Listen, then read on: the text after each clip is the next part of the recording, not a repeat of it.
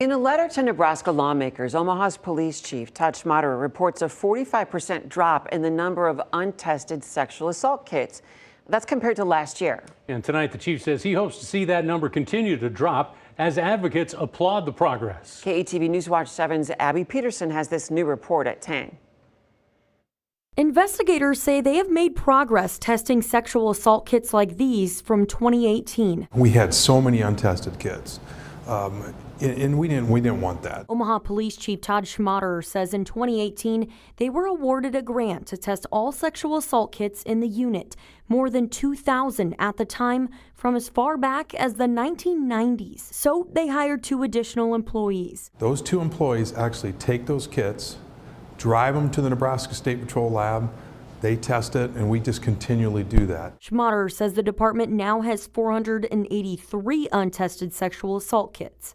This includes victims who don't want the kits tested and anonymous victims. It's a 45% decrease compared to last year when there were 886 untested kits.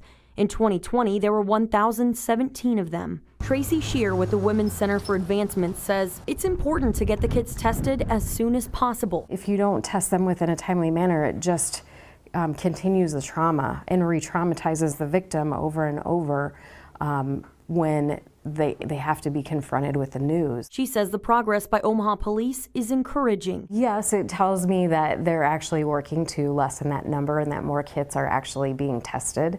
So they're going down that right path. But she hopes to see that number decrease even more. Chief Schmaderer does too and says they're working on it. You stand a very good chance of catching a repeat offender because just of the nature of that crime. So we want to make sure that we filter through as many as possible. WCA says they want people to know they are here to help. They have a hotline at 402 345 7273. They also want you to know that you can report your sexual assault anonymously and get a kit. Back to you. All right, thanks, Abbie.